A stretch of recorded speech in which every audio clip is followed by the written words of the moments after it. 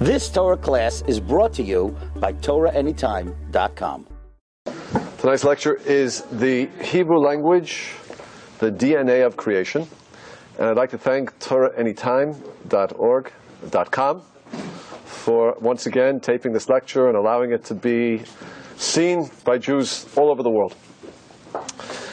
So tonight's lecture is a very fascinating topic called the Hebrew language, the DNA of creation. What does DNA mean? When we think about DNA, what is DNA? Right, I can't pronounce that. but there are many people here who can. But I do know what it is basically. I do know when you study the DNA of a gene, for example, you can detect and discover exactly what the thing is. The DNA is like the code that will tell you the symbol of what is there. Will give you the definition of everything that you need to know about what you're going to see in that, in that cell and perhaps in that person. That's what we talk about when we say DNA. We call the Hebrew language the DNA of creation. What does that mean that the Hebrew language is the DNA of creation? It means like this. The major premise we have as Jews is that Hashem created the world by first creating the 22 letters of the Hebrew alphabet and the numbers 0 through 9, and by combining letters together, he created the reality of everything that we know. The first creation was the creation of the Hebrew alphabet. So therefore, each letter has a spiritual energy, and that energy combined produced reality. And you might not be aware of this, but we say this in our prayers all the time. Baruch she'amar v'hayolam. Blessed be the one who said, and the world came into existence. He said, he spoke. What does it mean that Hashem spoke? He spoke by combining the letters of the Aleph Beit together. Or perhaps when we make a blessing, what do we say? We might say, you drink a glass of water, Baruch atah Hashem. What do we say? Shakol, Nihye, Bidvaro, that everything came out through his Devar, his word. It's not just poetry.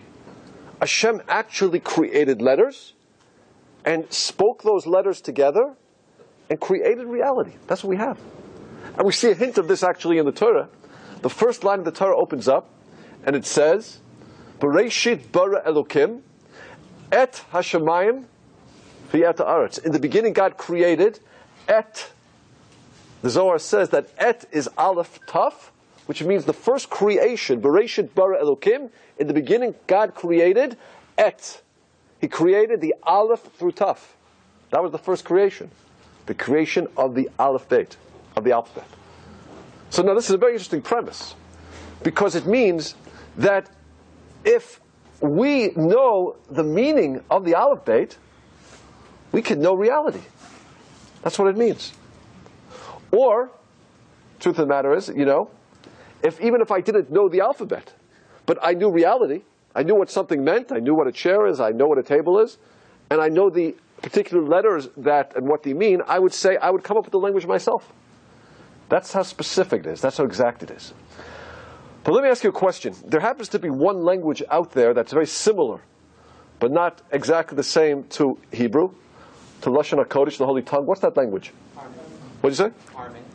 Aramaic. Okay, Aramit is a it's a sister language. It's very much like Hebrew. Greek Greek uses Greek is a language that does have a root system. Latin also has a, has a very defined root system, but still we haven't hit it. Arab, Arabic is no. No. no, Yiddish definitely not. English for sure not. Armenian, no. Chinese uses symbols, and Hebrew does use symbols. We're going to see in a minute. But it's going to be something a little bit counterintuitive. Egyptian Egyptian uses hieroglyphics, it's symbolic. But there is a language, it's a little bit, it's a little bit of a trick question. Russian, no.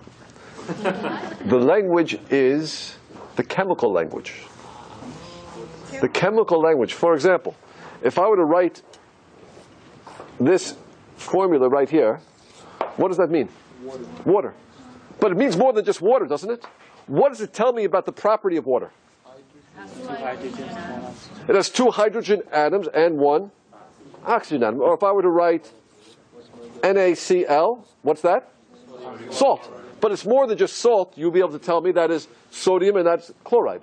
Now, there's one difference between the chemical language and the Hebrew language. Why we call hydrogen hydrogen, oxygen oxygen, or sodium or chloride, why we choose those names has nothing to do with the intrinsic nature of those substances. They're just names which we have chosen. The Hebrew language goes deeper because we're going to see in the Hebrew language that the letter means something by what it means, by its shape, by its numerical value, and other sources we'll talk about in a moment. But we have to understand that all other languages don't work like that. All other languages are symbolic. For example, you know, my socks over here, can't see them, hold the camera. My socks are made of nylon. Why, are my, why is nylon called nylon? Science majors, pharmacy majors, pharmacists. Why is nylon called nylon? Who can tell me it? Give me a scientific explanation, Emmanuel. Because why? The people that made nylon, they, they had a company in New York and London. Oh. Very, very smart. Nylon is called nylon. Why? Because the DuPont chemical factory had two offices, one in New York and one in London. Therefore, it's called nylon. Now, if you look back at the camera over there, you'll see a, a kind of rubber which sort of connects the, um, the base of the camera to the stand. That rubber actually is called bakelite. Bakelite. Who can tell me why it's called bakelite? Science majors? Why is it called bakelite? What's that? Fellow named Baker. Oh no, it was, it was actually baked first. Uh, like 50 years ago, they would heat up this material. It's good. That's not. That's that's a nice suggestion. Any other suggestions? Why it's called bakelite? This is the word, guys. Science people. Bakelite. Why? Bakelite. What do you hear about that? What do you hear in that? Behind the light. Behind the light? Okay, close. Dr. Bakelite happened to invent it. He used his name. So there's no reason why it's called Bakelite, except he chose to call it by his own name, or we chose to use his name. But again, there's no intrinsic meaning to the name and what it is. Now, what we're going to see in the Hebrew language is that the Hebrew language, every letter is going to mean something. Every letter is like an atom. And when you combine it with the other letters, you have a description of reality. That's the premise for tonight's talk. Okay. Now, to get there, we have to have a few fundamentals. Number one, how do we know what a letter means? How do we know what a letter means? So we basically have five sources. Source number one is the actual meaning of the letter. Aleph means an aluf, a champion, something elevated. Beit, bait, is a house. Gimel, gamal, camel. Dalet, dalet, door, etc. What the letter looks like is important because the shape of every letter is actually composed of other letters. We're going to look at an aleph in a moment. You're going to notice it's composed of two yuds and a vav. Every letter is composed of other letters. So shape is very important, and not just the not just the letters that compose it, but what it looks like is important. Another tool that we have is the numerical value of a number. We know that every every letter not only has a meaning, every letter has a numerical value. Aleph is one, Beit is two, Gimel is three, Dalet four, etc. Chaf is twenty, Lamed is thirty, goes up to four hundred. So numerical values are going to mean something. We also have a famous statement in the Gemara Shabbos when Rabbi Akiva explains letters to us. It's a very important source. And finally, a very, very interesting source the Gemara in Baba Kama tells us is, listen carefully, the first time a letter appears in the Torah, where that letter begins the root of a word, that word will teach me the meaning of the letter. I'll say that again. The first time a letter appears in the Torah, where that letter begins the root of a word, that letter that word will teach me the meaning of that letter. Okay, first time the bait begins at the root of a word in the Torah. Who can tell me? No, bereshit, but there means in. It's a preposition. It's separate from the root of the word. Bereshit bara. Bara means create. And as we know, bait means a house. Something you build, something you create. There's going to be consistency like that. As we're going to see. Okay? So these are our sources that we have the actual meaning of a letter. Every letter means something. Shape of a letter. Numerical value of a letter. description that Rabbi Akiva gives us, and finally, the, when, when the letter begins for the first time, the root of a word of the Torah, that word teaches me the meaning of the letter. That's how it works. Okay?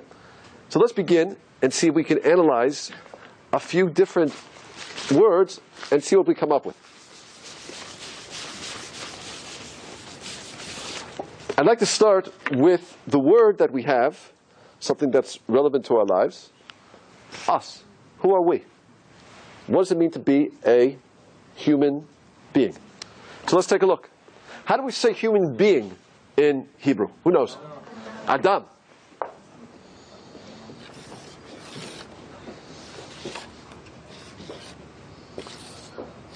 Ah? Adam. Now, I'm going to say something very interesting. By these three letters, I can tell you the most important things you need to know about who you are. Just like I can analyze H2O, and I can tell you the exact properties of water. How many hydrogen atoms, how many oxygen, oxygen atoms there are. I can do the same thing with Adam. Let's take a look. We see three letters that compose the human being.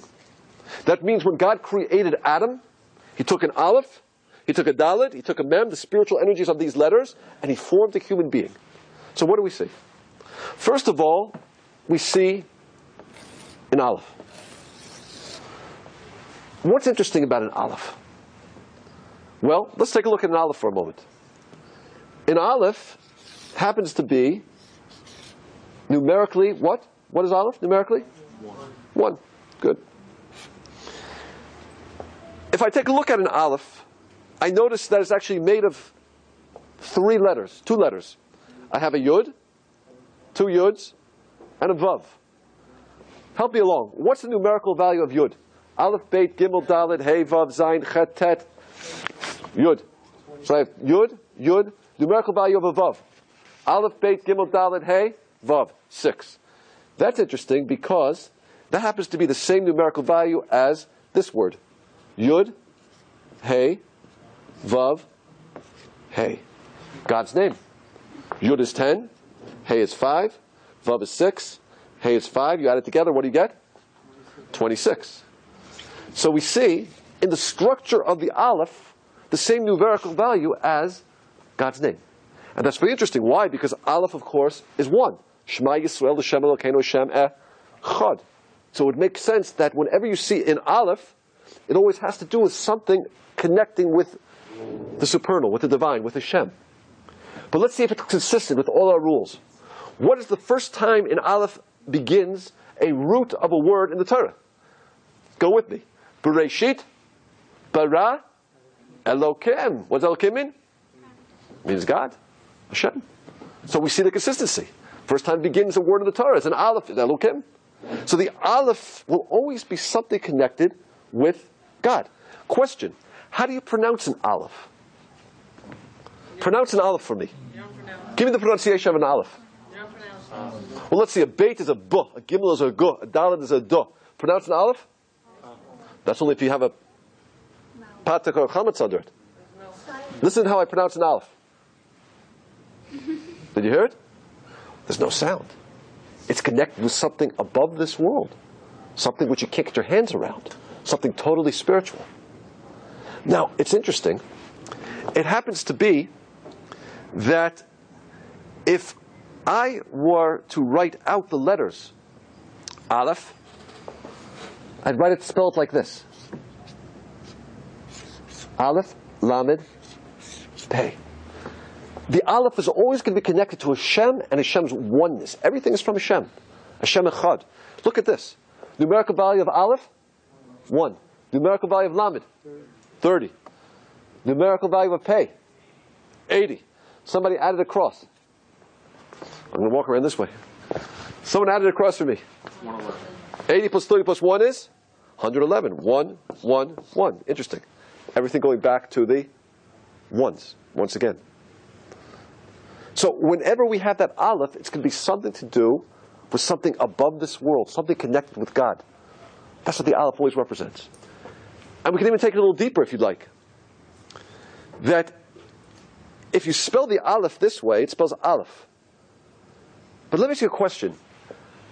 If Aleph always represents something about God, can we always know everything about God? Or does God always leave something over in our lives which is going to be a mystery, a wonder? True? I mean, we know that everything God does is good, everything God does is based on love, everything God does is based on kindness, based on kindness. That's a, that's a fundamental of Judaism. We know that. So, how do we explain the Holocaust? How do we explain the homicide bombers in Jerusalem? God, I don't understand. It's a wonder to me. In our relationship with God, there's always going to be something which is wondrous, and we're not going to understand it. Guess what? If I spell Aleph backwards, you know what it spells? Let me spell it backwards for you. It's going to be tough today. I'm going to go back and forth. If I spell it backwards, it spells this word, Pella. What does Pella mean, Israelis? Pella. What does Pella mean? It's a wonder. A wonder. So we see in the letter Aleph itself, in the three letters, a description of what God's relationship to us is like as well. He is one, 100%. But there's always going to be an aspect about a Pella, something we're not going to understand. Okay? So this is a foundation. Whenever we see Aleph, Aleph is always going to relate to Hashem. Oneness. 26. Pella. No pronunciation. You know, it's interesting also, how do we say a thousand in Hebrew? Aleph. Exact same three letters. Aleph is one, Aleph is a thousand. Question God has an infinite imagination. Surely he could have thought of two words, one to mean one and one to mean a thousand. Why does God use the exact same word? Because God's trying to teach us something. He's trying to teach us that look at the world, and you look at the world, you're going to see many, many forces. What are you going to see?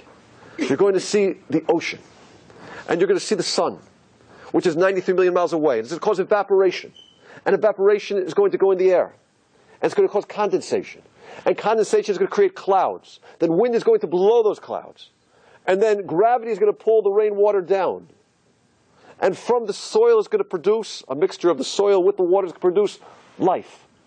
You might look at all these forces and think, wow, look at all the independent forces. God is teaching us no. They're all a manifestation of his oneness. Many, many forces. Aleph, but it's all Aleph. Do you hear the consistency? So whenever we see that Aleph, my friends, it's always going to be in relationship to, to God. Now, let's take a look at the human being. First thing you have to know about a human being is what? Well, we have an Aleph. We have a divine spark. The image of God is inside of us. A human being has to know that. If you think you're just an animal, and you don't realize that you have a divine image, it's tzelem Elohim, you're never going to find any fulfillment in this world. Because the divine image needs satisfaction. It needs Torah, it needs mitzvah, it needs Shabbos. It needs a connection with its source.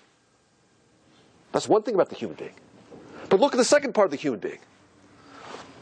Dam. What does dam mean? Dam means blood. Blood is the physical side of who we are. Now, why is blood the perfect description of the physical part of the human being? Question How many miles of blood vessels do we have in our body if we were to line them up head to toe, head to toe, head to toe? Give me a guess. How many miles of blood vessels do we have in the human body? Doctors. How many? What do we say? 10 miles, 20 miles? 1,000 miles, 2,000 miles? Try this number right here 33,000. We have enough blood vessels in our body, if we were to line them up head to toe, head to toe, to circle the globe twice. Now, it's pretty good that God created a way, Hashem created a way that He compacts it into a, um, you know, a 35 inch, okay, 36, whatever, which waistline. That's pretty good. But that's why blood is the perfect description of the physical side of who we are. Now, let me ask you a question. If a person thinks, look, I just want to be spiritual, I just want to meditate all day, I want to go off on a mountain and communicate with God. and I don't need friends, and I don't need family, and I don't need relationships, and I don't need delicious foods. I- just want to be a spiritual being. I don't want to get married. I just want to go off somewhere and communicate with God my entire life. Do you think such a person is going to be happy? No. Maybe they've involved their aleph, but they've forgotten the second side of who they are, which is their the physical side, the dam. So the first thing we see about the human being, just from these three letters, is exactly who we are. We're both spiritual and we're physical. And the challenge of life is to blend these three, these two elements perfectly. To make it appear that the spiritual and the physical are the same thing. Like on Shabbat. You know, is Shabbat a physical day or is it a spiritual day? What is it? Well, it's a spiritual day, but we spend it eating. Right? So what is it? There's a beautiful blend of what we say is physical and spiritual. Now let me show you how deep this goes. Where do we get the blood from? Who gives us the blood of life? Well, we get it from who? We get it from our mother, our aim, and we get it from our, our father, our Av. Numerical value of Aleph is what? 1. Numerical value of Mem is 40, 41. Numerical value of Aleph, 1. Numerical of Beit, 2. It's 3. What do we see? 44. That's interesting. Dalet, numerical value, 4. Mem, numerical value, 40. 44. What a coincidence. The Dam is provided by who? Ava'im. Numerical value, 44. But it makes sense. Why? Because if God took these three letters and formed the human being, obviously it would make sense that the source of the physical side will correspond with the providers of the physical side of who we are. Now, let me ask you a question. What is the job of a human being? What's our job? Are we supposed to stay the way we are? Are we supposed to grow? In fact, we're born with a lot of potential, tremendous potential. But our job is to take ourselves and become something greater. Now, that's interesting. Does an animal have that challenge? An animal? Does your dog ever have to become more than just a dog? Does your cow ever have to become more than a cow? Right? When I was little, my mother used to say to me, you know, don't eat with your fingers. You know, bring the food to your mouth, not the mouth to your food. I've never heard anyone say that to their dog. The dog does exactly what they're supposed to do. In fact, they do what they do. In fact, they serve God beautifully. Animals serve God beautifully. There's no resistance. There's no need to be anything but the are. That's interesting, by the way, because the word for an animal in Hebrew is a, well, that's a domesticated animal, is a bahe, behema, which is an interesting word. Why? Because it means ba-ma. In it is what it is. Ba-ma. In it is what it is. That's all it is. No need to change, no need to grow. But look at the human being. If we flip around these letters a little bit, what do we see? If I were to put the mem before the aleph, what does this letter spell? What does this word spell? Ma? Od. What does od mean in Hebrew? It means more. The job of the human being is to become od, more. The human being is created in potential. But our job is to make ourselves something greater, to refine ourselves, to perfect ourselves, to take the raw material God gave us and to give it back as a completely different creation. That's our job. Not to stand still, but to grow, to become mi'od. Now look how beautifully God expresses this. God, ex- God created man from what? It's called Adam because he created him from the Adama. Adama. What does Adama mean? Adama means the the earth. Adama, the earth. Tell me something. What's the difference between the earth on 55th and Lexington and the same earth in some field out in uh, Nebraska or out in Tashkent? What's the difference if you're going to do a chemical analysis of that dirt? Tell me the difference between the dirt on 57th and Lexington and the dirt out somewhere in Kansas. What's the difference between that dirt? It's the exact same thing. So why does the dirt on 57th and Lexington cost you a million dollars a square foot? And the land and the dirt out in Kansas or Nebraska cost you maybe, I don't know, $10 a square foot? What's the difference? The difference is what you choose to do with that dirt. If I take dirt and I build a skyscraper on it, or I use the, or I use the dirt to create a beautiful field, it's worth something. But the dirt has no real value by itself. Its value is what I choose to do with it. Now that's interesting. That's why God created man from the Adamah. Because Adamah is something that exists in potential. And it's up to you to decide what you want to do with it. Now it's very interesting. Look at this.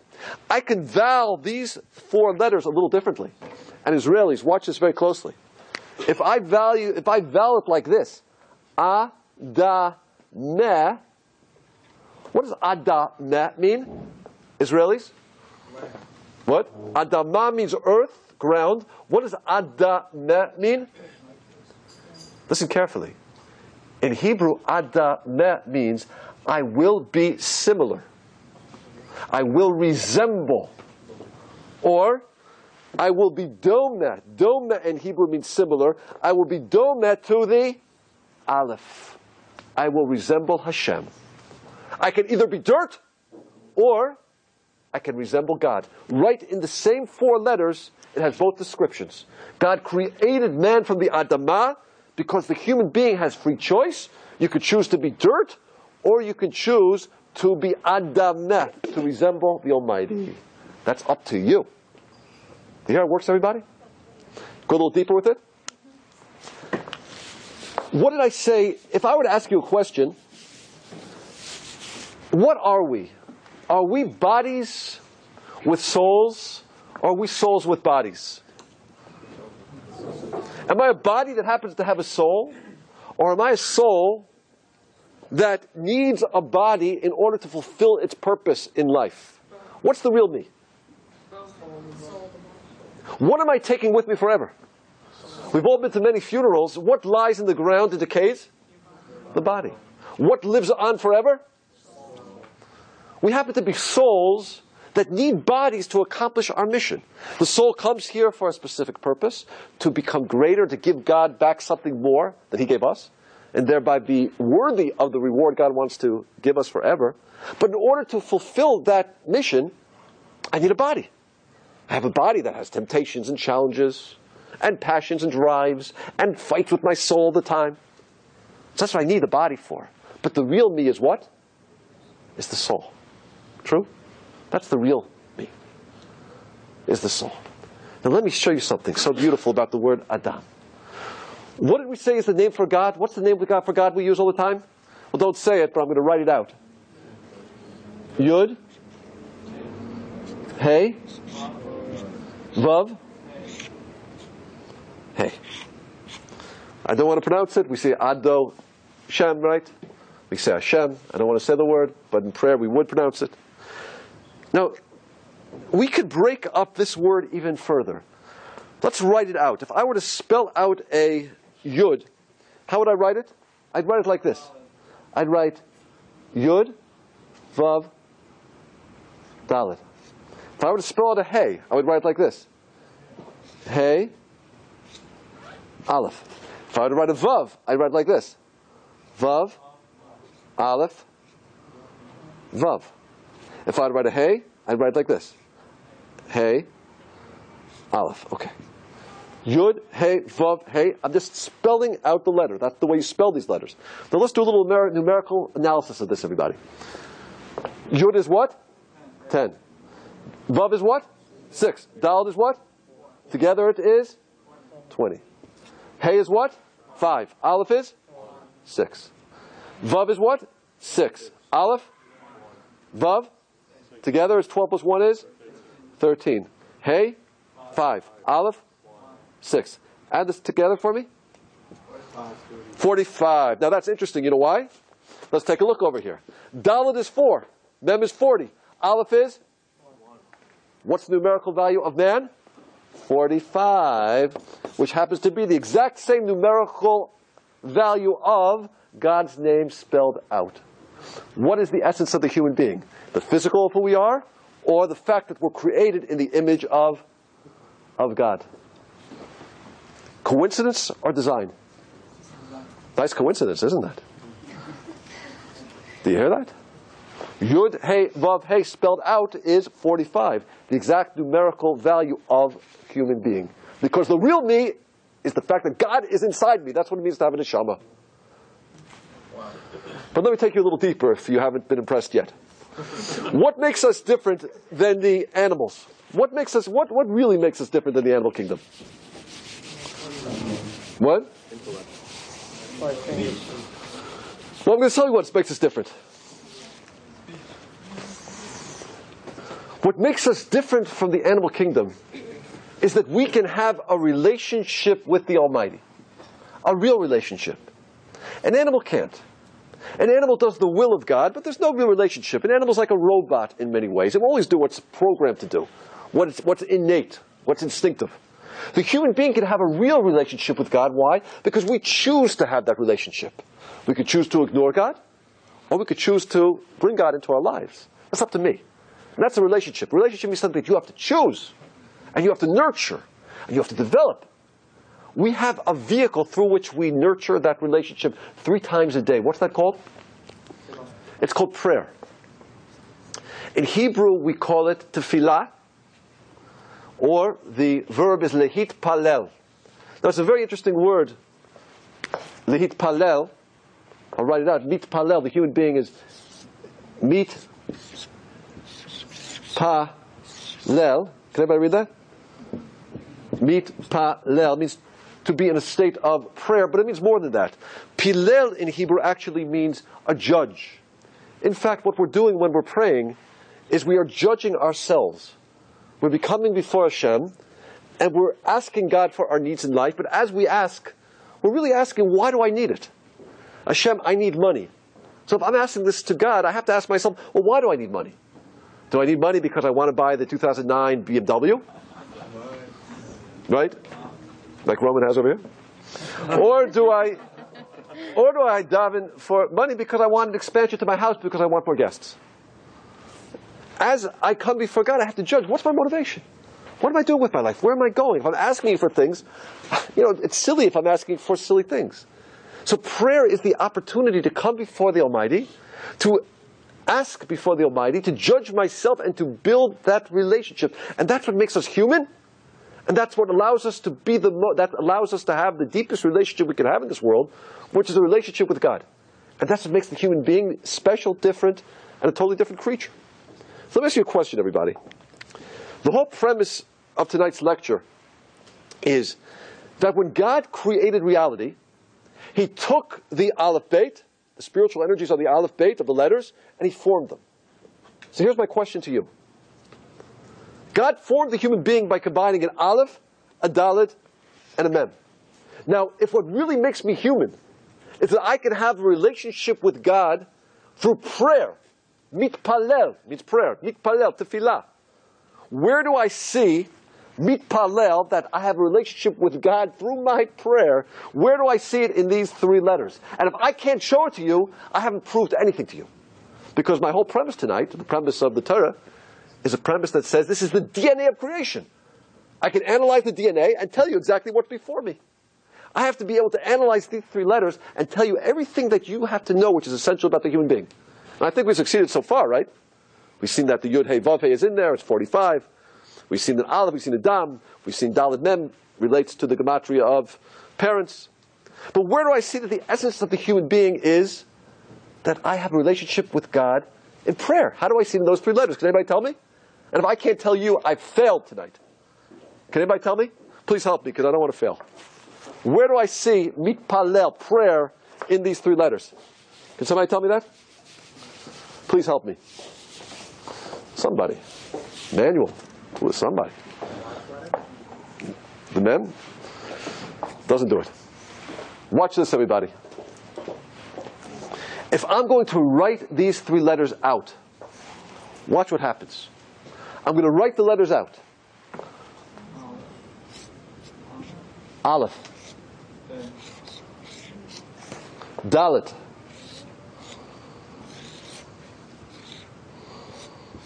Mem. Okay?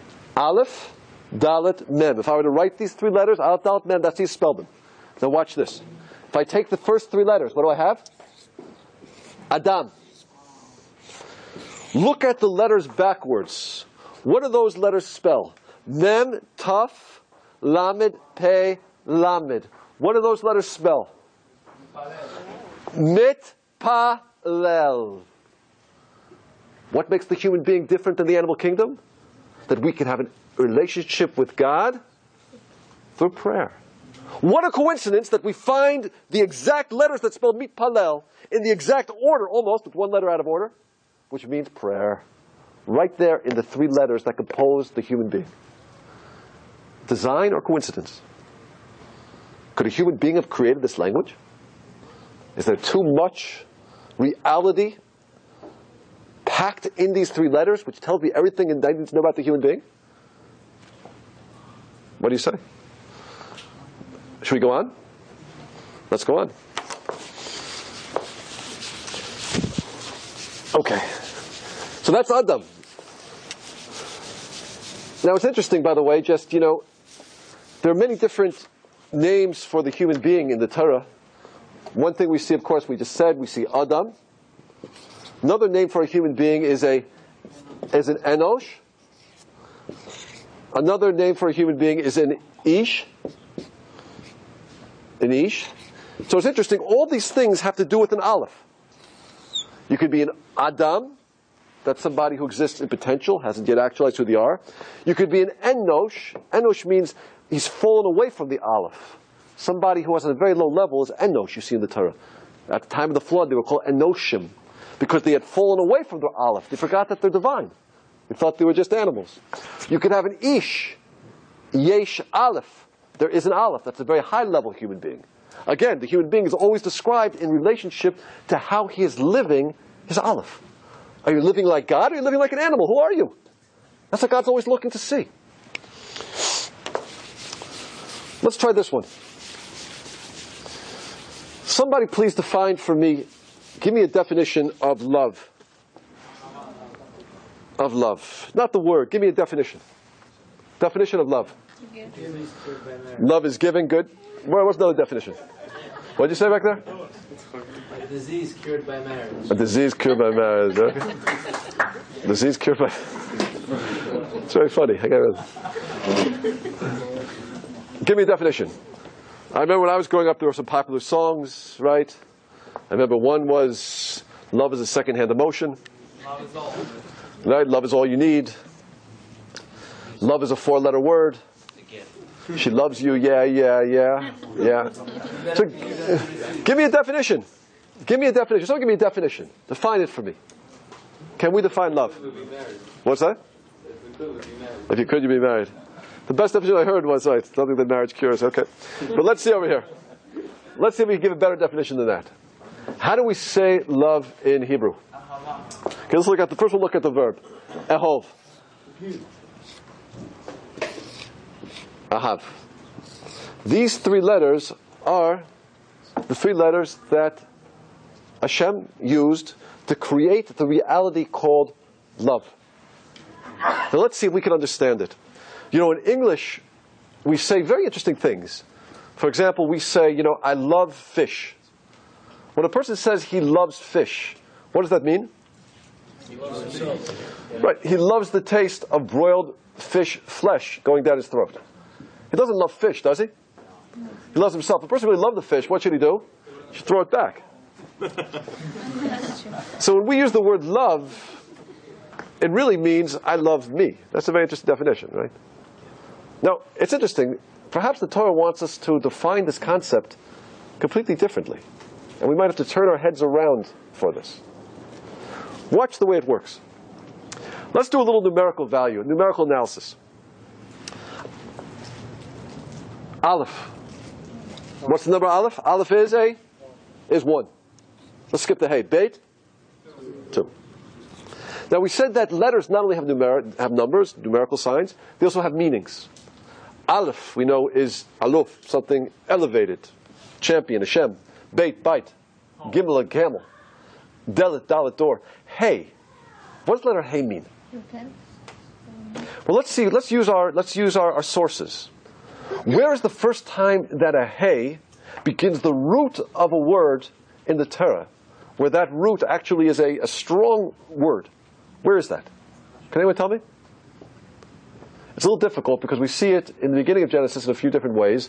One is as a hey is a definite article, I say, like haki se'al shulchan, that's the. But the first time we see it the begin of a root of a strong verb is way deep into the book of Genesis in Parshas Vayigash. When the brothers are down in Egypt, and Yosef turns to his servants and he says to the servants, listen carefully, Hey lechem ochel. Hey lechem ochel. He uses it like this. The Torah says, Hey. Hey lechem ochel. And you look at the Aramaic translation on the side, it says hav, which means give. It means give. The letter hey actually means give. And that's interesting. So look what love is. What's love? When one gives to one gives to two. What's love? Love is a function or a product of giving to somebody else. When we say, I love fish, I don't love the fish, I love me. Love means that I'm willing to give to somebody else. And the more you give, the more you love. And that's why the Torah tells us that a mother will love a child more than the child loves the mother. Because who gives more? The child or the mother? The mother spends many, many years and nights giving. A child spends many years, many nights taking. A parent will love a child more than the child loves a parent. Because the more you give, the more you love. When one gives to the other, the other becomes you, and you love. So love isn't just a, an emotion. Love actually is the process of being in a state of giving. When you're in that state of giving, you will start to identify so completely with the other that you'll feel like that other is you. And that's why, yeah, bro? Is there another word for love? For like when you say I love fish, you don't use that ahava? You don't say, well, you don't say, hey, dog, it doesn't mean anything. But what do you say? You said, uh, what would I say? Dog toemli. Tastes good to me. To me. Right? But not that I love it. I love me. That's what love is. Love, from God's definition, is completely opposite of the way we use it in English. Now, it's interesting, by the way, if I were just to add one more letter here, I would have ahava. Ahava is the noun, which means love. If I do a little numerical analysis, what do I see? Aleph is 1, Hey is 5, Bet is 2. What do I get? 13. That's interesting because that's the same numerical value as this word, which is echad. Echad in Hebrew means Hashem echad. Hashem is one. Aleph is one. Chet is eight. Dal is four. It's thirteen. Why? Because what's love? When you become me. When I give so much to you that I can't separate between me and you, and therefore I see you as a part of me. I love you. We're one. That's what it is. That's why it says in the Torah, "V'ahavta l'recha kamocha." Love another like yourself. Really, the only love you can have is self-love. But the way I'm going to love you is I'm going to make you part of me. Then I'm going to love you. I'm going to make you one with me. Ahava is 13, Echad is 13. But if you can be part of me, I'll love you. But the way you're going to be part of me is only if I invest in you through giving. That's what it is. If you don't give, there's no love. But let's take it a little deeper, if that's not deep enough. We'll go a little deeper with it. Let me ask everybody a question over here. What do you think generates, what type of gift do you think generates a deeper connection, a deeper bond in marriage? The gift of the house in Great Neck, the Lexus,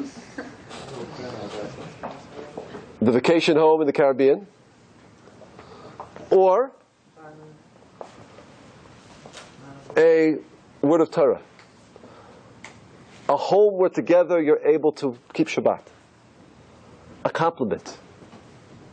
A song that you might sing together on Shabbat. What do you think builds the bond deeper? Is giving something physical or giving something which we call spiritual? What do you think? But don't tell me. Analyze it from these three letters. Tell me the answer from these three letters. Don't guess it. Analyze it from these three letters. So something I said? Was something I said? Hmm? Was something I said? People are so sensitive. You got to be so careful. Okay. So, what, what? Just tell me from these three letters. what do I, what builds the bond deeper? Giving something spiritual or giving something physical? I know you know what it is. You've been to enough Emet lectures. But tell me from an analysis. I don't want you to tell me. I want you to tell me from these three letters. What's the answer? Spell it out? Uh, it's, it's simpler than that. This one's even simpler. There's the word home in it. Just spell out. Mm, interesting. Okay, a little deeper. Just much simpler. What do we say hey means? It means give. When you give the other an Aleph. What's an Aleph? What do we say Aleph is? Aleph always has to do something with the Aleph, something with God. Something connected, something above this world. Give him or give her an Aleph. How do you give an Aleph? You bring Torah into the home. You bring Shabbat into the home. You tell the person about their Aleph. Oh, you have such beautiful qualities. You're such a giver. You're so generous. You're so kind. I didn't know how selfless you are. You make them appreciate their Aleph. Give them their Aleph. Remind them of what their Aleph is, the spiritual side of who they are. Oh, that really builds the relationship. Maybe we understand why in America there's a 65% divorce rate. Maybe we understand it. Maybe people are too busy giving houses and cars and vacation homes, but they're not giving the gift that really builds love a connection with God. Together we can build a relationship, we can build a connection that we couldn't build by ourselves. Interesting. Now, it's interesting also, if you look over here,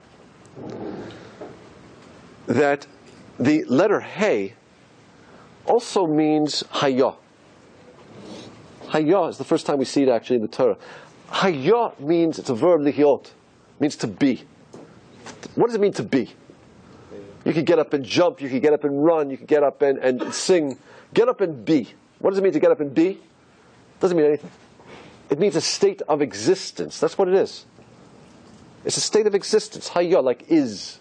Right? In, in Russian, we don't have that verb. In Hebrew, they have hayah. Hayah means it is. It's in a state of being. So look at this. What do we say love is? When I make you a part of me. Love is when one is two. I give to you to such an extent where one becomes or is the other. That's when I love you, because you're me. Because really I can only love myself. But I would expand myself to include you as part of me. That's it. One gives to the other, one becomes the other. One gives the aleph. Wow, then you really have something in life. It's too bad people don't know this, right? Because popular songs you hear all about really loving myself. She makes me feel this way, he makes me feel that way.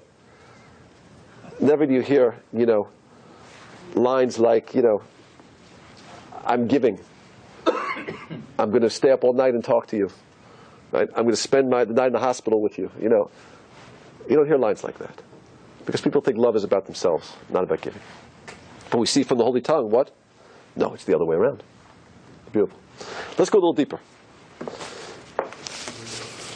We're talking about love. Let's talk about men and women for a moment. In Hebrew, the word for man is ish.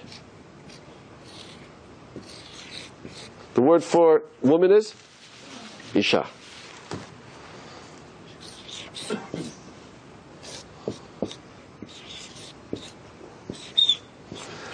What's the letter the man has that a woman doesn't have? He has a has a yud. Letter the woman has that a man doesn't have is a hey. Yud Hey together we know are is one of the names of of God. So what do we see in marriage? A man can bring his Yud, a woman can bring her hay, and together they can bring God in. If the goal of the marriage is that I'm going to bring my connection with God that only I can have as a man, and you're going to bring your connection with God that only you can bring and provide as a woman, wow, we really have something new. We can have a unity with God like we couldn't have by ourselves. What a beautiful state of existence. But look at this. If people say, look, let's get married, but who needs God? I just want to live a life of pleasure. I want to live a life of money. I want to live a life about me and us and just, just do what we want to do. Who needs God in the picture? Forget Shabbat, forget Kashrut, forget Taharat Mishpacha, forget it all. It's all about us and me. I'll do whatever I want to do. Look what we're left with. What does Aish mean? Fire. You see, double fire. What does fire do when it's in touch with another fire? Explosion. Conflagration. Maybe we understand again why there's 65% divorce rate. People aren't bringing God into the picture. What do they have? Two fires. Two selfish human beings that just want things for themselves. They'll burn up. And they burn out. And they're gone. Now, it's interesting that a man's letter happens to be, in this combination, happens to be a, a yud. A woman's letter is a is a hey. Tells us something a little bit about men and women as well. A man's letter is a yud. If you notice a yud, a yud happens to be the smallest letter in the Hebrew alphabet. It doesn't touch the top of the line. It doesn't touch the bottom of the line. It just hangs there in space. Yud always represents the idea of a, a thought, an idea, like a thought. It just it hangs there. It doesn't touch the top, the bottom. It just it just hangs. Numerically, Yud is ten. That's interesting. Why? Because zero through nine are all natural, meaning we have a symbol that describes them. Once we get to ten, we have to use our minds, so to speak, to construct it. We have to put it together by one and a zero. It's called a thought number. Yud always represents the idea of an idea of thought. Now, gentlemen, the vision of a man in this world is to be in thought. That's why men have a greater mitzvah to learn Torah. They have to reach up, so to speak, and, and bring ideas down. They have to spend time learning the theoretical aspects of Torah, of halakha, of law. They have to sort of reach up and, and, and pull ideas down. That's why a man's tefillin goes above his head. It's the idea that I want to connect my head, so to speak, up further and kind of draw ideas down. That's a man's vision. A woman's vision is different. A woman's vision is to be a hay. Now it's interesting. If you look at a hay, a hay is really composed of two letters. It's a dalit with a yud inside of it. Dalit in Hebrew in the language means dalit, it means a door. It's the first letter that starts expressing itself in four directions north, south, east, west. It's actually always the symbol of the physical world. The Dalit's always a symbol of the physical. The physical world, four directions. And that's why it means Dalit, Dalit, door. Why is a door the perfect description of the physical world? Is this world the end or is this world the doorway to something else? You know, when you go to the funeral sometimes, people will say, this isn't the end. The grave isn't the end, the grave is the beginning, the grave is the doorway. This world is a doorway to another world. It's a prozdor Olam Haba, we say. That's why we make a big deal about doorways. What mitzvah do we do on every doorway in our house? Mezuzah. Because we want to remember every time I go through my doorway, it's a delit, it's the physical world. This world is something which is, uh, you know, this world is a doorway. I'm going somewhere. A door is only there to lead me somewhere. A door is not an end in itself, is it? A door without a room is meaningless. The physical world is a dalit. It's a door. Now look at a hay. A hay contains a dalit and a yud. And what does that mean? First of all, how do you say hand in Hebrew? Yad. What two letters are there? Yud and dalit. That's interesting. What did I say yud represents? Yud represents an idea. What did I say dalit represents? Something physical, the physical world. What does a hand do? It opens the door. It takes an idea and it brings it out into the world. Right? It takes an idea, it brings it out into the world. That's what a yad does. Perfect description. Now look what a woman is. A woman is a, she's a hay. A woman is this over here. She's a hay. She's a dalid that contains a yud. That's a hay. A dalid with a yud. What's a woman's job? A woman's role in a sort of a cosmic sense is that she's supposed to take a man's idea and make it real in the world. Like in procreation. A man provides an idea, the seed. A woman takes that seed and expresses it out into the world. Which is more important? The idea or the expression into the world? Well, if you don't have an idea, you don't have an expression. If you don't have expression, the idea is meaningless. Obviously, they're both equally important. But a man's vision is the yud. A woman's vision is to be that, hey, to be out there in the world, express the idea out in the world. If a man's job might be to learn the theoretical concept of Shabbos, a woman's vision might be to make that idea so real in the world that I could touch it. There's a home, there's a feeling, there's a, there's a taste, there's a smell. You could go into this house and you feel holiness. That's a woman's world. Here it works so beautifully in combination. So a man has a yud, a woman has a hey. They combine it, they have God. Let me ask you another question. Let's go a little further in men and women. There's another letter that represents a man in terms of his relationship in marriage. You know what that letter is? Is this letter here? It's called Zayin. Zayin. Zayin. Did I make that wrong? A Zayin. A Zayin is a male letter. Let me explain why. A male letter in marriage. What does Zayin mean? It means Zan. Zan in Hebrew means to provide, to nourish. A man's job, maybe historically or maybe even today, is to go out into the world and make sure the family has food. Lazun. Zan et olam kolo betuvo. A man provides the food. He's Zan. He's a Zayin. That's a man's vision. Interesting, the first time a Zayin appears in the Torah, guess what word happens to be? It's this word right here. Zera. What does zera mean? Seed. First time you see a Zayin in the Torah. Seed. Zera. Who provides the seed of creation? The man. True. Zayin is the male letter. What's the female letter in marriage? You know what it is? It's this letter right here. A gimel. Now why a gimel? Gimel actually means gamal, means camel. Gomel means to give. Gimel means to take your child and stop the child nursing, to wean the child. So let me ask you a question. What's the connection to those three ideas? Gamal, which is a camel, Gamal, which is to give, and Gimel, which means to stop a child from nursing, to stop giving. So here's my question. God, you have an infinite imagination. You could have come up with three different words. Camel, give, wean off from giving. Why does God use the exact same word, which actually what a gimel means? It actually looks supposed to look like a camel, I think, as they say, right? You know?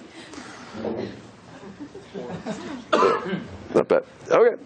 Why is the exact three why is the exact word that means three things? It means a camel, it means to give, and it means to stop giving. What do the three have in common? Anything? Well, let's just take it the giving aspect. Gamal means to give. Gimel means to stop giving. God, you have an infinite imagination. What are you doing to me? Give me two separate words. Why is it the same word? Let me ask you a question. What's the greatest kindness you can do for somebody? Is giving the greatest kindness you could always do? No. If I'm helping my little four-year-old ride his bicycle, what am I going to do? I'm going to run behind him to make sure he doesn't fall. I want to get him off those training wheels on a two-wheeler. I'm going to run behind him and make sure he doesn't fall. Am I giving? Yes or no? Am I giving? Yes. If I, if I see my 17-year-old on a bicycle and I run behind her to make sure she doesn't fall, am I giving or am I setting the stage for future psychotherapy? what, what am I doing? Because you know what the purpose of giving is? The purpose of giving is to give to the point where the person doesn't need you anymore. To create independence. I want to give to the point where I can give the real gift. You don't need me. I've stopped giving. Real giving is to create an independent person. And that's why the Rambam says it so beautifully. The highest form of charity is what? Is to set somebody up in a business. To give where they don't need you anymore. So now we understand why the word gimel, it means to give, and gimel means to stop giving. Because that is the highest form of charity. That's why if I write out the word gimel, by the way, I'd write it out like this. Gimel, mem, lamed, which is very interesting because I said, what did I say gimel means? Gimel means to give. Mal in Hebrew means to, like milah, to cut off. Milah, mal. Give to the point where you can cut off from giving. That's real giving. create independence. Here it works. Very beautiful. You see the consistency? So Gimel is a female letter. Because the job of a woman is, the job of a mother is to give and give and give. Man provides the zera, the seed. The woman then gives and gives and gives, but gives in order until you can cut off from giving to create independence. Now let me ask a question. How do you say a married couple in Hebrew? Well, there's one more letter you need to know. There's a letter in Hebrew which is the letter of connection. It's called a vav. It means a hook. It looks like a hook, doesn't it? First time you see it in the Torah as part of a root word. Vavei mishkan.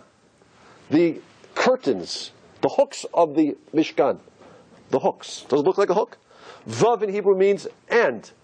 It's conjunctive, it's connective. So vav always means to connect two things together. Vav, it's a hook. So how do you say a married couple in Hebrew?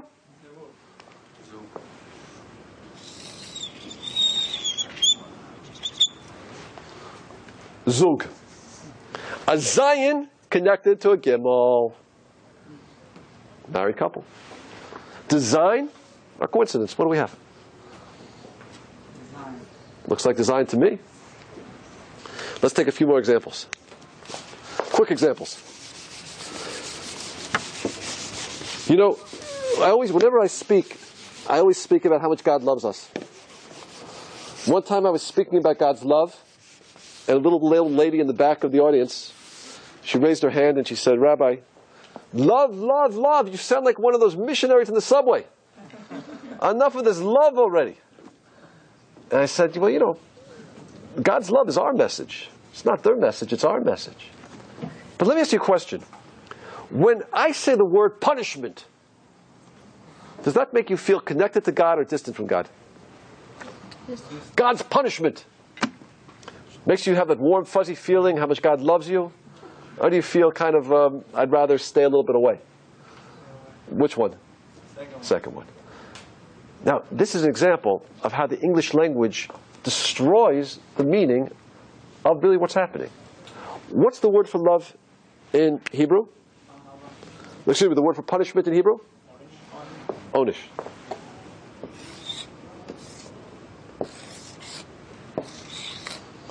Let's analyze this word. Onish means punishment. Let's analyze it. First of all, we have an ayin. Ayin in Hebrew means a eye, a naim or eyes. Whenever you see an ayin in any word in the Hebrew language, it has something to do with an eye. What does an eye do? An eye looks, it examines. Iyun is analysis. The hitanein is to, to think deeply about something. The eye has to do with looking deeply, analyzing. This two-letter root, nash, the nun means something, the shin means something, but for nice discussion, let's just analyze it as a root. Nash. Well, how do I know what this root means? Well, let's look, let's look for the consistency. Let's try to discover this root in other words in the Hebrew language. Well, let's see. We have a root. We have a word, nesher. What's a nesher? A nesher is a an eagle. Why is it called a nesher? Because nash actually means to fall off. Nash resh. Resh means rosh, head. Why is it called a bald eagle? It was born with a feather and the feather fell off. Something fell off from the head. We have another word, nisher in Hebrew. Nisher means to take a sheep and shear it. That means to cause the wool to nash, to fall off. Another word we have is nashel. Nashel in Hebrew means, for example, the Torah it says you take an axe. You take the axe back like this and the, head, the axe head falls back and kills somebody. It's called nashel hagarzan, the falling back of the axe. Nun shin together always means when something falls back or falls off. So Let's analyze the word punishment. What did I say ayin meant? To look with your eye, to see, to perceive, to analyze. What did I say nun shin always means? To fall back. So what's an onish? What's a punishment? God brings pain in our life sometimes in order that we should look and perceive that we've fallen. You've fallen. Get up. Wake up. You're on the wrong path in life. You're going after money. You're going after materialism. You forgot this world doesn't mean to get you somewhere. Stop bringing pain. It's not because I have any desire to have retribution, you know, to, to, to give, to cause you pain. I have a desire to cause you punishment, whatever that means. It's because I love you. Look deeply that you've fallen. Is that a manifestation of, of, of God's distance or his love. That's a manifestation of what? Of love. It's like you're teaching a class. You know, if you have a really good student and the student falls asleep on you, what do you do? Gotta wake up. I really want you to know this material. Because I care about you, because you have potential. Ayin, look deeply. Nash, that you've fallen. Pain we experience in life is a manifestation of God's love. Do you hear it rings so differently when you analyze it under the language, under the microscope of the Hebrew language? When you say it in English, it doesn't ring at all, does it? Punishment. You say onish, it's a completely different philosophical meaning. It also has nash, punish. Oh, punishment, very good. That's true. We could find traits of every of, of, of the Hebrew in every language. Because when God created the world, right, He created the Hebrew language. At the time up to the flood, there was only one language. It was Hebrew. Actually, time of the Tower of Babel. After the Tower of Babel, what God did was He mixed up the Hebrew language and created 70 other languages. So English is mixed up Hebrew, right? Spanish is mixed up Hebrew. Russian is mixed up Hebrew. Bukharian for sure is mixed up Hebrew, right? You know, but like, you know, I can give you just a, like, you know, one quick example of, of what that means. You know, how do you say snake in Hebrew? Nachash. It's interesting. If God mixed up these three letters and created the English language, look at what he might have done. He puts the shin first, the nun nun in the middle, and the chet at the end, and you just pronounce it a little differently. What do you see? Se, nech. Snake. Interesting. We could give you many, many examples of that. How everything came from the Hebrew language. Everything. have the tail also on the stem in the middle. Ooh.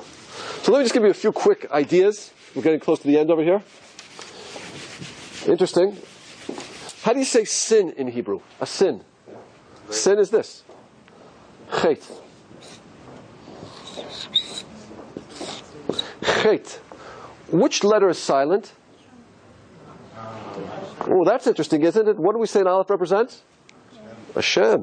When does a person sin? When they forget about God. Oh, God is silent. I don't hear God here anymore. I forgot about God. That's a cause of sin. The more you're focused on Hashem, I can't sin. Look, the chet, the aleph is silent. That's interesting. How do you say anger in Hebrew? Kas. Kas. You know, if I rearrange these letters a little bit, I could write it like this. Kas, ayin. What did I say ayin means? To look, the eye, perceive, think. Kas in Hebrew means what? Nichasa means to? To cover. What's anger? When I've covered my eye. I'm not thinking anymore. Wait a minute. If God is actively involved in every movement, every movement of my life, if everything that happens to me is directly from Hashem, why am I getting so upset at the guy who cut, off me, cut me off in traffic? Why am I getting so upset at the guy who insulted me? Why am I getting so upset at that sales clerk who? I mean, everything is from you, Hashem. It's all there from you. So what am I getting so angry about? You know why I'm getting so angry? Because I'm putting my head in the sand. I'm not looking. I'm not thinking that everything is from God. I'm kasayin. I'm covering my thoughts, my eyes. That's what anger is. I'm not thinking. The more I realize everything's from Hashem, I won't get angry. Interesting. Let's go a little, few, a few more over here. You know, it's interesting. We said that the essence of the human being is that we have free choice, right? The word for choice in Hebrew is bachar. Now it's interesting. Free choice means that I can either choose to come close to God or I can choose to distance myself from God. It's interesting. If I rearrange these three letters and I put the chet first, what does that spell? It spells chaver. I could use my free choice to make God my friend, or I could spell it differently, cherev. I could use my free choice to have a sword between me and God. That's the power of free choice. You see those three letters? Are defining exactly where man's free choice lies. Is God going to be my friend or is God going to be my enemy? What am I going to choose? Interesting. You know, I think it's kind of cute that the word for pregnancy in Hebrew is this. How do you spell pregnancy? Her Yon. How many days does it take to go from conception to birth? It's nine months and one day, which is 271. Let's do a numerical value here. Hey is 5. Resh is 200. Yud is 10. Actually, I need a, there's an aleph there. Vav is 6. 1 and 50. Let's add that together. What do we have? 250, 260, 265, 271. That's interesting. Let's do another one.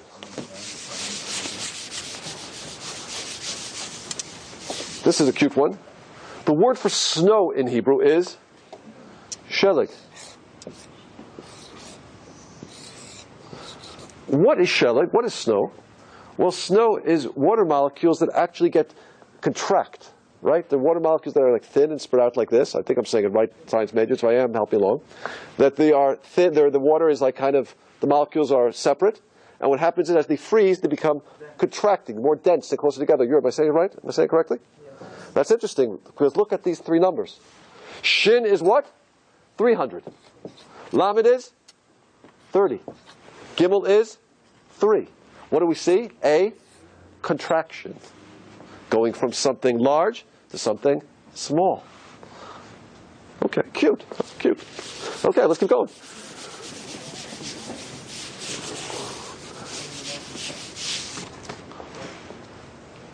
What makes a tzaddik a tzaddik? What makes a righteous person a righteous person? His mind is over his. What makes a righteous person a righteous person is, we mentioned the two parts of who we are. There's a body, and there's God. A righteous person is somebody who, who rules over his body. So it's interesting. If we write tzaddik, I write like this: Sad, kuf. You know the letter kuf. I love that letter. Why? Because letter kuf in Hebrew means a monkey. One of the 22 letters of creation is a monkey. What's so special about a monkey? They're very cute, and they look very human-like. You know, as Jews, and I don't mean to shock anybody, we don't believe in evolution of the monkey to the human being. We believe in de-evolution. That it's possible for us to go back and be like a monkey. And we forget that we're creating the image of God. The monkey is there to remind us what you're not supposed to be. He looks just like you, but he's not you. He doesn't have a soul. He has no challenge. Is there a yud there? No. It goes tzedek, tzedek, the root of tzedek, tzedek, the root of tzedek, right. The, the monkey just lives by his desires. Whatever he wants to do, he does. He's programmed to do. He has a temptation, he does it. He wants to eat a banana, he eats it. He doesn't he make a blessing. Does whatever he wants to do. That's a kuf, that's a monkey. But you know the human being is, a righteous person is? He's a kuf, you're right. The human being does have a monkey. We are very physical. If you look at the DNA of an ape and you look at our DNA, I think it might be the same DNA. They look very humanoid, very human-like. But a tzaddik is, the two-letter root sad in Hebrew comes from latsud. What's latsud mean? To hunt. Or to trap. Sad means side. The way you trap something is you create sides around it. Latsud means to hunt, to trap. So what's a tzaddik? Somebody who traps, who harnesses, who controls his monkey. A tzaddik is somebody who rules over the animal and who he is. That's a tzaddik. He doesn't let the animal rule him. I'm not going to go after my desires. I'm not going to go after my passions, my temptations. I'm going to let God's word rule me. Rule over the monkey. Controls it, traps it, hunts it, harnesses it. See how it works? That's a tzaddik. So does mean all the human being are tzaddik? Every human being has the potential to be a tzaddik. Nobody's born a tzaddik. Otherwise monkey. You know, little children do what they want to do. We train children now to rule over the animal and who they are. We begin to train them to say a blessing, to say thank you, to hesitate before they eat. They're beginning to rule the body, to rule the monkey, and eventually to get to a point where every decision we make in life is God, what do you want? Not what does my stomach want? That's the goal of life. You know, we said that the premise of this talk is that God created the 22 letters of the Hebrew alphabet, and with those 22 letters, He created all of reality. And I think we're seeing that a little bit tonight, are we? A little bit, just a taste of it tonight. There's so much more we can do. Time, time is short. Let me ask everybody a question. We end with this idea.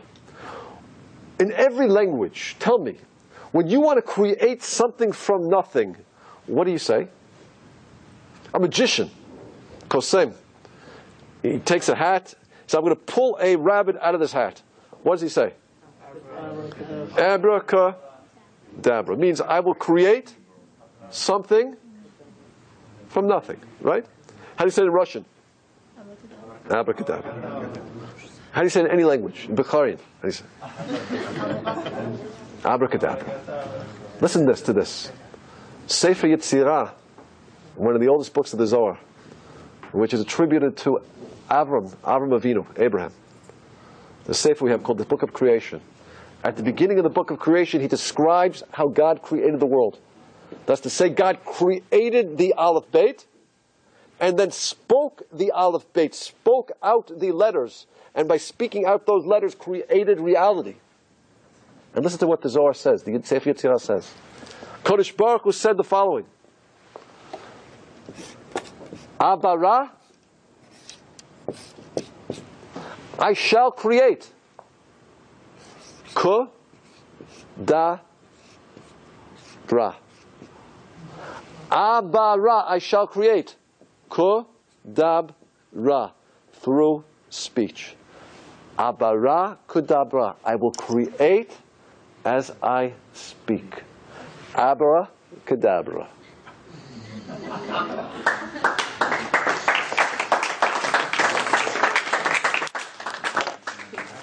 Friends, I think we saw something tonight. You know, if we're looking for divine authorship in this world, to see that there is a creator, that there's a language that could not have been created by the human being, I think we found it tonight. And if we need any proof that there is a creator, one who can line up letters in a way that they describe reality perfectly, perhaps it shows that the creator is the source of the language. That the creator is the source of the language, he's the creator and the source of it all. If we need proof for the existence of God, perhaps we need to look no further than the Hebrew language itself. And that's a gift that we have as the Jewish people. Thank you for listening, everybody. I enjoyed speaking. You've just experienced another Torah class brought to you by TorahAnytime.com.